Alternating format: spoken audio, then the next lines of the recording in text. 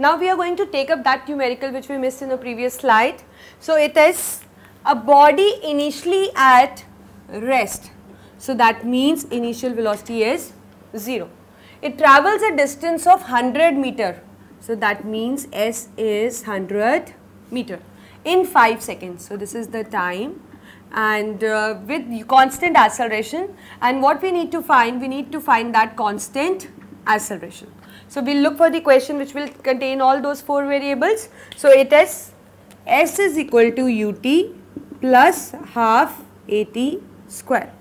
So putting the values S is 100, U is 0, time is 5 plus half, A we need to find, time is 5, square of 5 is 25.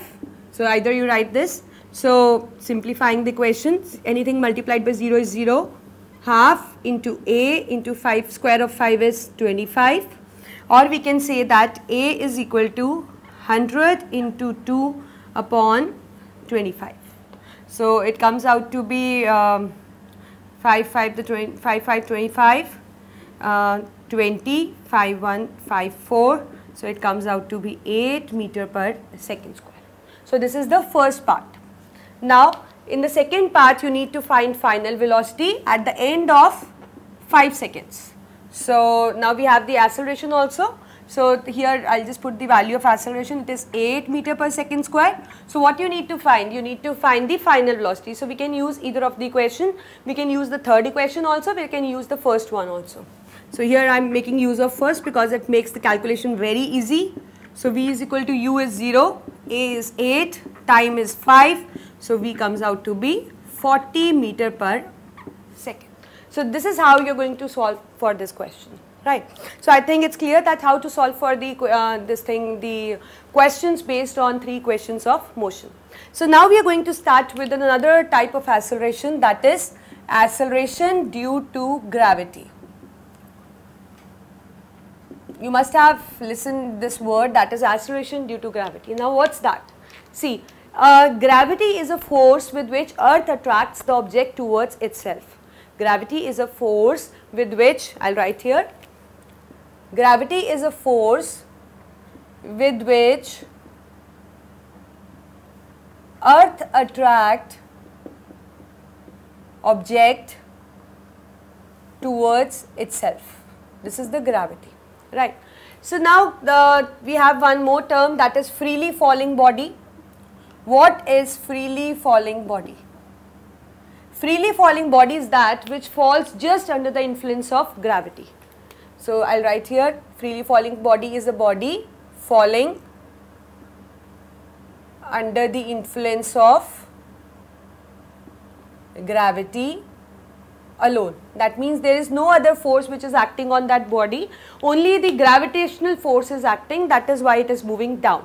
Suppose if I uh, just I like I have a marker in my hand if I just uh, throw it in this way so that means I am uh, giving it certain amount of uh, velocity. So that means uh, it is accelerating just due to the velocity which I am giving as I am applying force on it.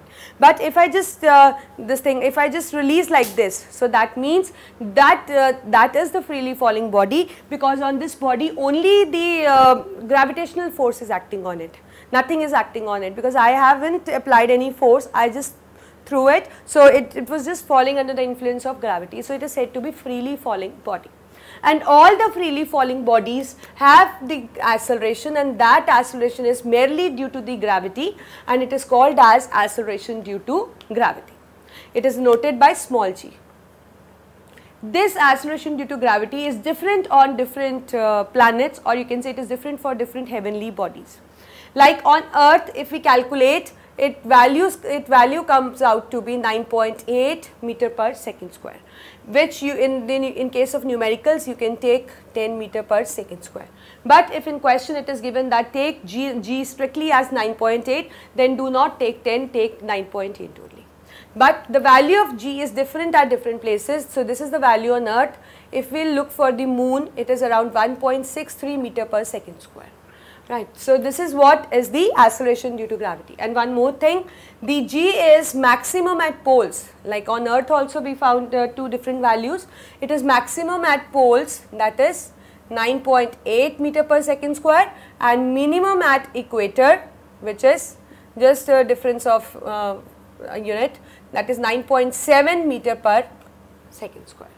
Right. And as you go into deep mines or as you go up to the height g decreases right so this is what is the g now, if you uh, like if we are uh, uh, uh, this thing using those three equations of motion and uh, in those equations if we involve the gravitational force or acceleration due to gravity, so those equations get modified slightly like this. Suppose we have first equation this, so it actually becomes in case of in case of acceleration due to gravity, it becomes V is equal to U plus GT.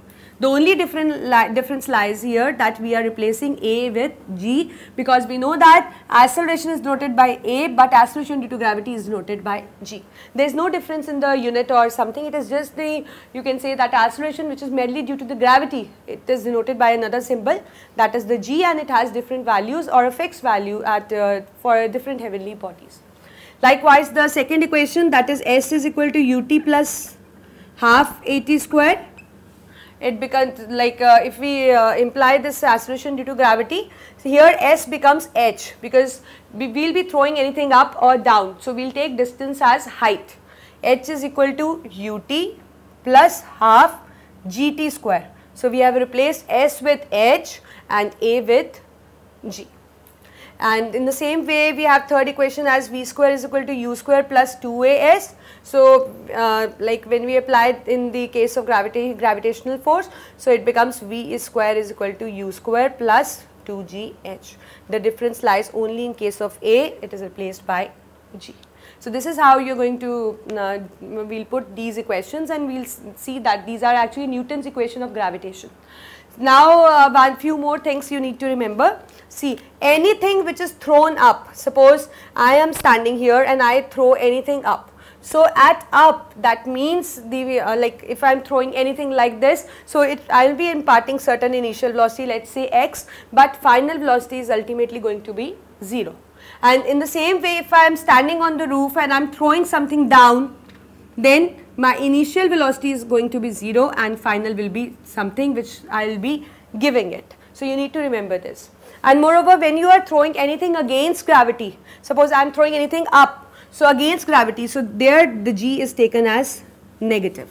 But if I am throwing anything towards the gravity, that means from roof to down, so it, the, there the g will be taken as plus g. So you need to remember these things because uh, this will help you in uh, solving the numericals.